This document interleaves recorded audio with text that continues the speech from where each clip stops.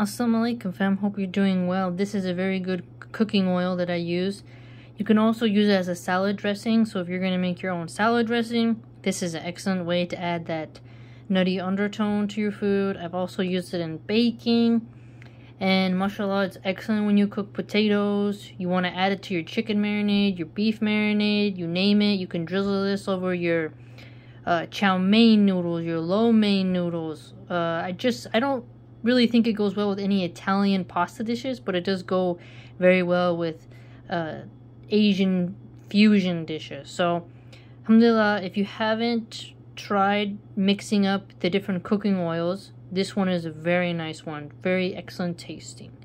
And you can also try this in your brownies. So let's say you want to make some brownies, you don't want to add walnuts, but you want to add this oil instead of using olive oil.